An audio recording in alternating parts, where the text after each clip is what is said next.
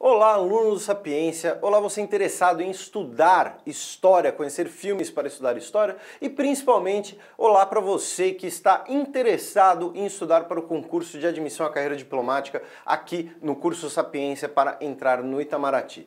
Meu nome é Felipe Figueiredo, sou professor de História aqui da casa e como vários alunos uh, já mandaram e-mails, já perguntaram, já pediram para dicas de filmes, de documentários para ajudarem nos seus estudos, uh, decidimos fazer aqui um desses vídeos com cinco dicas de filmes para estudarem, especialmente nesse caso, história geral, história mundial. Eu sempre costumo dar dica de filme durante as aulas. Por quê? Porque você já estudou a semana inteira, tá lá cansado de estudar, mas se você parar de estudar, você muito provavelmente vai se cobrar, vai se sentir culpado, vai ficar ansioso, alguma coisa assim. Então chega no fim de semana para você poder descansar, mas manter a cabeça funcionando. Então tem aí cinco dicas de filmes e de documentários sobre história geral. Aí você consegue deitar, descansar, faz uma pipoca e mantém a cabeça funcionando ali no background com algumas, alguns temas, alguns uh, períodos pertinentes ao CACD. Primeira dica é o clássico dos clássicos Lawrence da Arábia, produzido na década de 1960. Ah, é um filme longuíssimo, ou seja, é um filme que você vai pegar a tarde inteira, assim. Tem, se não me engano, tem uma edição dele que tem quatro horas quase.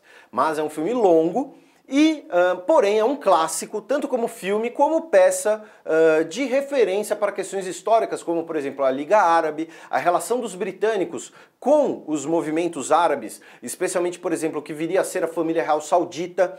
Então, é um filme muito, obviamente, não é um filme, né? Não, não Lembrem-se, um filme não é uma transposição da realidade, né? Mas é um filme que ajuda a ver diversas referências sobre esse assunto, especialmente no contexto da Primeira Guerra Mundial e o fim do Império Turco-Otomano.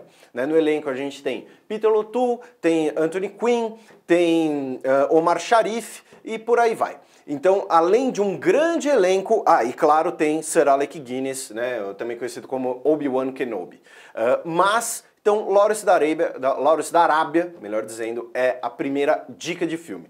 A segunda dica, ainda no Oriente Médio, é Valsa com Bashir, que é uma animação. Né? Você pode até olhar, às vezes até com preconceito, dependendo, né? como assim uma animação? É um filme animado israelense uh, contando as memórias um soldado israelense que participou da guerra no Líbano, buscando as suas memórias do conflito, porque ele não se lembra de muitas coisas, entrevistando colegas, pessoas. Obviamente, tem uma perspectiva israelense, lembrando que a guerra no Líbano ela tem três conflitos, começa em 75, mas o envolvimento israelense começa em 82. É um filme que inclusive é proibido no Líbano.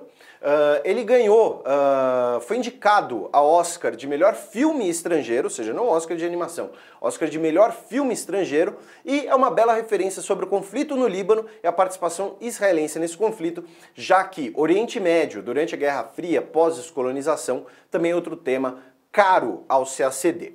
A terceira dica é um documentário, o documentário Corações e Mentes, que é um documentário sobre a Guerra do Vietnã, sobre a propaganda durante a Guerra do Vietnã, sobre uh, como o governo dos Estados Unidos poderia fazer com que a população se engajasse na Guerra do Vietnã.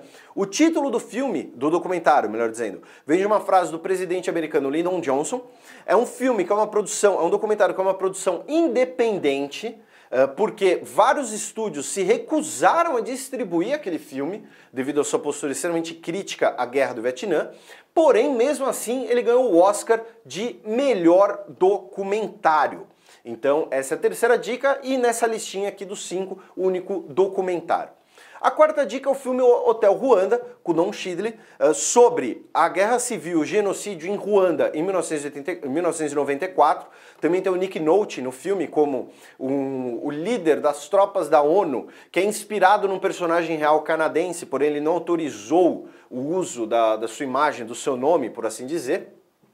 É um filme bastante interessante não apenas para os estudos de história, mas, por exemplo, para os estudos de política internacional, para os estudos de PI, né? Porque a gente, a, aquela situação que muitas vezes, uh, para a maioria das pessoas, é extremamente uh, causa uma revolta. Por exemplo, nós vemos as tropas da ONU presentes em Ruanda e não podendo fazer nada, não podendo interferir no conflito para salvar as vidas do mais de milhão de pessoas que sofreram um genocídio. E por que essas tropas não podem agir? Por conta dos mandatos da ONU, por conta de como funciona a estrutura do Conselho de Segurança, por conta de como eram as forças de paz. E aí a gente entra naquele tema, por exemplo, de política internacional, de uh, peacekeeping, peacemaking, uh, peace enforcement, peace building, todas as diferentes missões da ONU e dá pra gente ver no Hotel Ruanda, que é um filme uh, extremamente impactante. Uh, se você nunca viu, uh, veja e como eu disse, é um filme bastante. Se você é sensível, talvez você acabe aí se emocionando com o filme,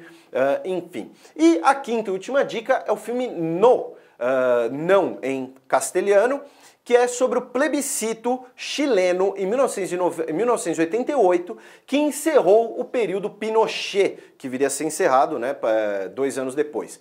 É, o plebiscito que teve a vitória do não, ou seja, não ao Pinochet, não à ditadura, uh, teve vitória de 54,5% dos votos, mesmo com diversas denúncias de fraudes, de uso de violência, e o filme trata justamente da campanha pelo não. O filme é estrelado pelo Gael Garcia Bernal, ou seja, vários de vocês talvez suspirem né, ao ver o filme, já que ele costuma causar esse efeito nas pessoas.